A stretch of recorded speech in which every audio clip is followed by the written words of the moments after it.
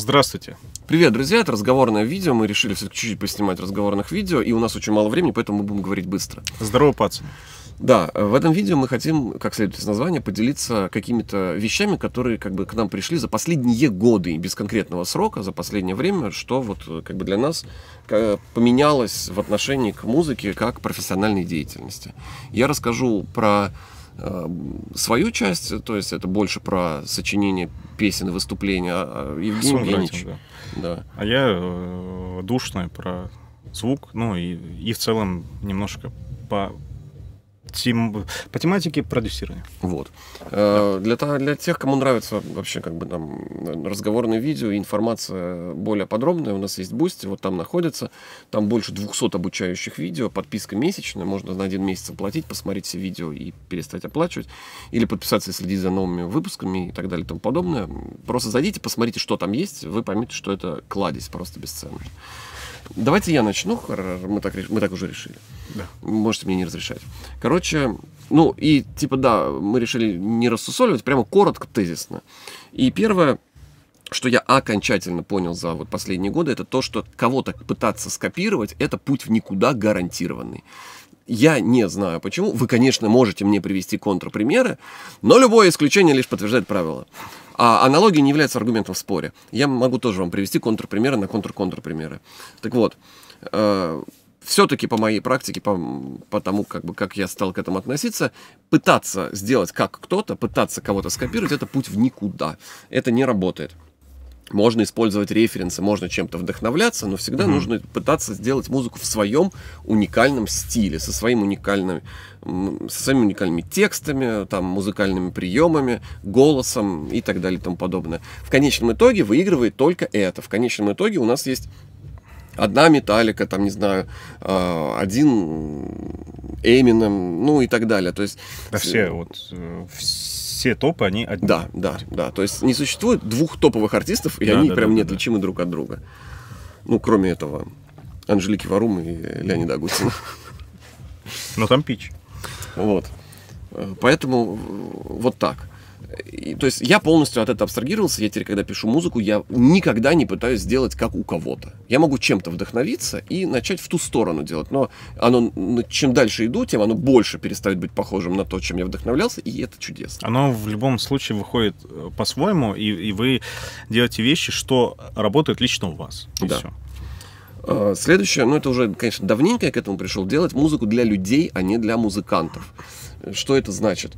Это значит, что попытаться поставить себя на место простого слушателя, простого слушателя, который знает песню «Рюмка водки на столе» и «Happy New Year» группы Абба. И под, когда вы пишете песню, думать о том, что вот этот простой слушатель вообще сможет в этой песне услышать и понять. И если очевидно, что нихуя, то, ну, если у вас только не стоит цели заниматься авангардной и но я вообще, я про себя рассказываю. Меня не стоит цели заниматься андерграундной, авангардной музыкой. Я пытаюсь, я занимаюсь андерграундной музыкой, но я пытаюсь все, все больше и больше э, как бы сделать ее в хорошем смысле попсовой.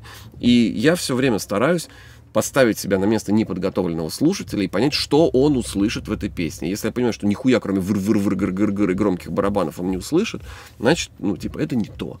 То есть думаю о слушателе. А э, что по поводу моей песни подумают музыканты, мне уже лет пять как вообще похуй абсолютно, потому что э, кого вообще волнует, что там э, музыканты думают. Я не для музыкантов пишу песни. Вообще поймите, что, ну, типа, люди простые слушают песни, пишите для простых людей. Следующее это быстро отбрасывать нерабочие идеи. Раньше было у меня Очень такое важно. вот дрочиться, типа, ну что-то написал, и вроде бы что-то в этом есть, да, да, да. но оно как-то никуда не ведет. И вымочишь, вымочишь, да. мусолишь что-то, да. Так бывает, что вроде бы какой-то музыкальный смысл в какой-то части есть, но он никуда не ведет. Так бывает. Может быть, он вообще никуда не ведет в принципе. Может быть, у вас недостаточно композиторских способностей, чтобы вывести его куда-то. В любом случае, проще выкинуть нахуй то, что не работает, и сочинить заново. Факт. Скорее всего, вы придумаете еще лучше. Не, не цепляйтесь за то, что не работает.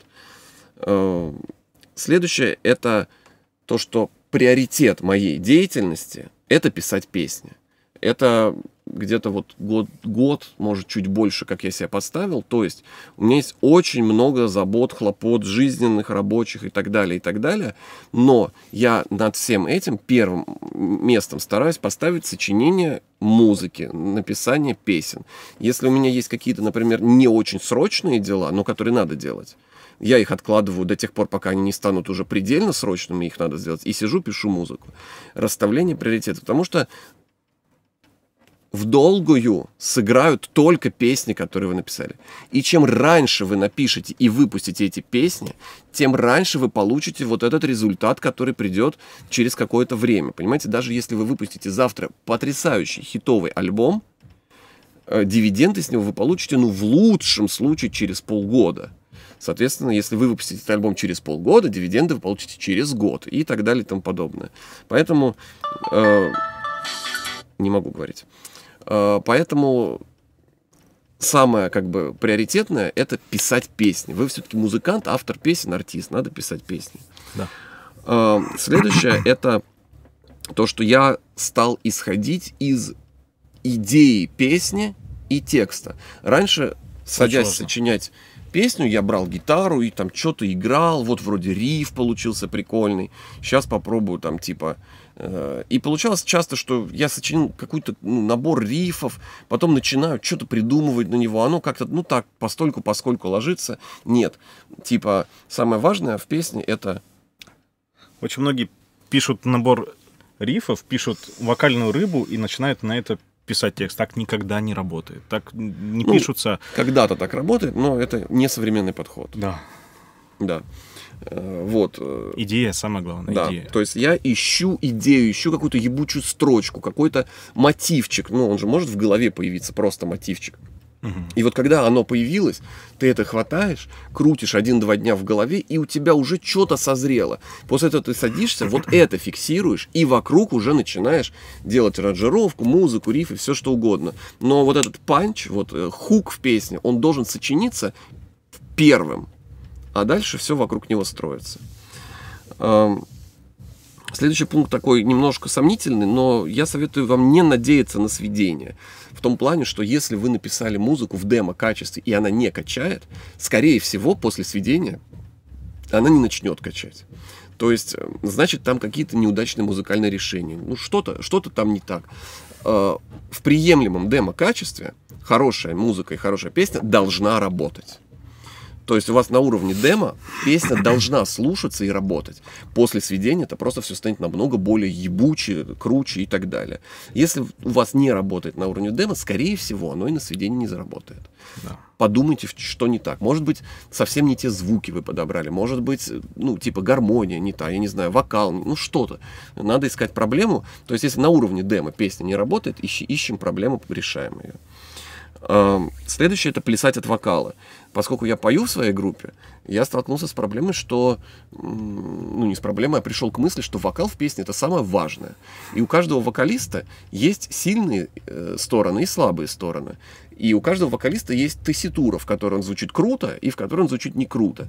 И поэтому, когда я придумываю какую-то мелодию, э, я сразу думаю о том, в какой тесситуре типа я ее спою, и дальше тональность песни выбирается исходя из того, в каком месте мне будет удобнее всего это петь. Это кажется э, логическим, но когда вы, например, играете metal music, и у вас там гитара в ре, Да, да, да. вы начинаете все песни писать в ре. А у вокалиста это самый там, ну, типа высоко вокалист в ре, например.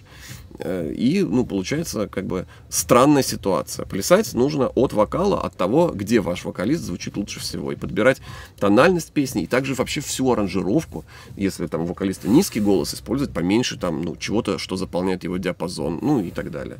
Я думаю, вы поняли. И вообще, и это, опять же, предыдущему пункту, по этой причине вставлять вокал в последнюю очередь это хуевая идея. Мгм. Вообще самое, на мой взгляд, э, если вокалист не автор музыки, э, то самая рабочая тема это попросить вокалиста под акустическую гитару спеть песню, ну типа записать ему гармонию и попросить спеть. Да, и да, да. потом вот на это делать уже аранжировку, музыку и так далее, а потом просто перепеть на чистую. Так работать в сто раз проще, ну типа честное слово. Эм, Следующее это использовать рабочие решения, а не разрекламированные. Что я имею в виду? Вот эта гонка за какими-то новыми самыми классными плагинами, сэмплами, приборами, примочками, Bullshit. струнами. Это все хуйня. Э, Лучший враг хорошего. Да. Ну, типа, научились вы пользоваться эквалайзером от Waves? Ну и пользуйтесь. Да, да. Новый эквалайзер от какого-нибудь Ньютона или кого-то. Ничего вам он, не он- сделает он вообще, вообще, да. ничего не поменяет в вашей работе. Вы просто потратите полдня на то, чтобы его найти, крякнуть, скачать, установить э, и, и это самое, разобраться в настройках. Не надо. Если у вас есть инструмент, который работает и полностью вас удовлетворяет, пользуйтесь им, занимайтесь музыкой, а не изучением вот этой. Ну и то же самое. XP. Ну и то же самое касается как бы там процессоров гитарных, я не знаю, примочек, там пультов и так далее.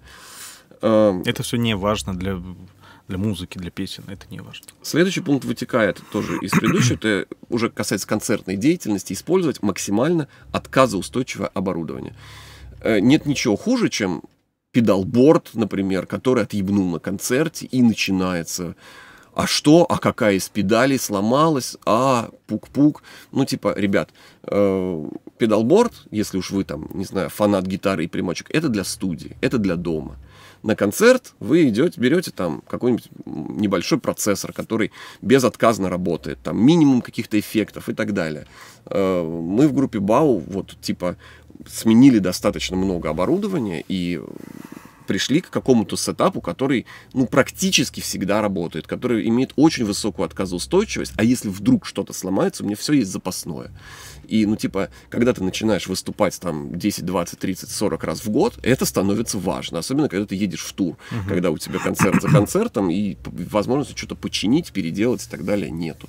Поэтому, э, что касается Особенно оборудования, туре, да. э, и вот эти эксперименты, а я сейчас возьму электросмычок, там, я не знаю, это все забудьте вообще, все. Вот, например, у нас гитаристы все играют на проводах. Это неудобно. Но это работает всегда. Ты воткнул провод, и звук идет. Если бы мы купили еще три радиосистемы вдобавок к нашим пяти имеющимся радиосистемам, и у нас было бы 8 радиосистем на сцене в маленьком клубе, где люди с мобильными телефонами, ну, типа, это вызывает трудности. Поэтому, ну, как бы, нет у нас пока что отдельного человека, который занимается RF-менеджментом, и, и вот так. Э, И последнее, что я для себя вывел, это не вписываться в мутные движения. Ну, я думаю, что всем понятно, но вот знаете, рано или поздно начнут какие-то типы появляться, которые будут вам предлагать какую-то хуйню. Давайте там, типа, э, попробуем поработать с нашим лейблом, давайте мы вам там сделаем, я не знаю, какой-нибудь странный концерт, хуй пойми где, давайте запишем фит, как с какой-то группой. Да на самом деле она известная, просто на индексе мало прослушаний. Типа, не тратьте время на эту хуйню. Вот просто не тратьте свое время. Занимайтесь своей темой. Если вам предлагают, ну, типа, нормальные движения, там приходит какой-то, ну, концертная площадка, которую вы знаете, она говорит, мы вам сделаем то-то, то-то, заплатим, ну, да, тогда, конечно, надо, ну, и то контрагентов желательно проверять, желательно все равно с кем, кто бы вам там не написал, не позвонил, навести справки, потому что, ну, все-таки какой-то кидаловый, какой-то хуйни в нашей индустрии присутствует, имеет место быть. Вот. Личный бренд и песни. Все, вот, вот над чем надо работать. Да. Я высказался. Да, у меня э, э, не так много пунктов, ну, я не более душный, но э, суть в том, что я, За это тебя любят. да, ну, относительно не так давно я э, переехал в Москву, начал работать более плотно, более на потоке, более, а, ну, именно профессионально заниматься как профессией э, звукорежиссурой. Вот. И э, у меня случилось глобально два пересмотра взгляда на, ну, на звук в целом. А, Первый пересмотр у меня был э, в плане выстраивания гейнстейджинга, если вам это о чем-то говорит. И второй пересмотр был э, после того, как я начал работать с э, товарищем э, Гоша, если смотришь, привет. А, Он, он сейчас э, является одним из ведущих продюсеров Black Star, мы, мы занимались вот э, э, его песнями, и он очень много мне рассказал очень много э, полезного в плане звука и в плане э, вообще взгляда на музыку. Вот э, у меня случился второй пересмотр звука в сторону работы в мастер, в сторону ну, модернового, плотного, полноспектрового, а, Серединой. ш- широкого звучания, да. Вот, ну, прям модерн. У меня было ощущение, что я жил как вот в какой-то капсуле, то есть я там, ну, не смотрел на, на топовых западных артистов, как они звучат, как вот это все, и, и- а, а тут я начал смотреть и думаю такой, да я так это сделал вообще на, на ход ноги, а оказалось вообще нет, и я такой, блин, а как? А как это работает? И началось вот это. Ну и к слову, вот и, э, из-за двух этих пересмотров у нас есть два курса на Boosty, то есть э, базовый курс по сведению мастерингу и переиздание курса уже с э, более мод- модерновыми взглядами, причем в сторону упрощения подходов. То, ну, то есть э, меня как осенило в один момент, что извечно музыка, музыка работала. Раньше делали, ну, типа, мощнейшие ебучие миксы на консолях, там нету всяких там мно- многополосных там фантастических плагинов, вот этого всего.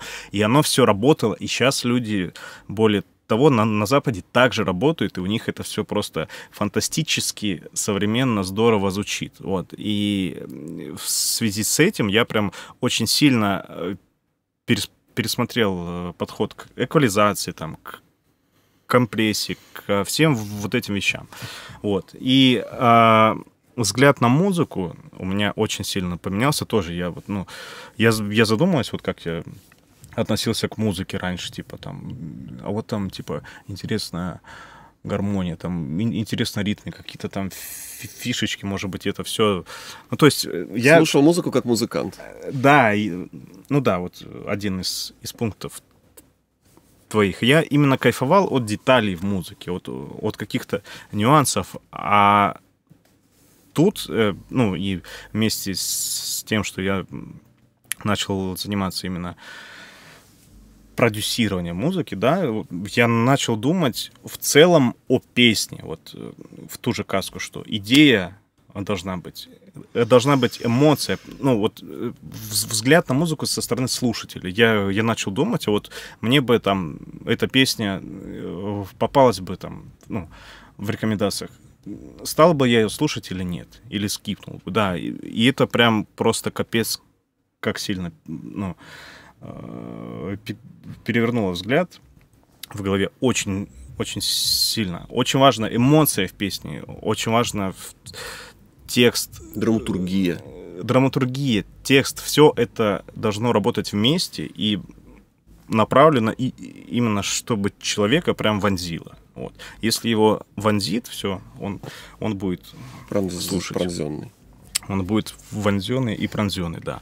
Вот, и а, последний пункт, что за, за эти годы, а, ну, студия почти три года существует, и сейчас она, в принципе, на стадии, что я уже не один этим за- занимаюсь. У меня есть два коллеги звукорежиссера, вот, и мы Два гуся.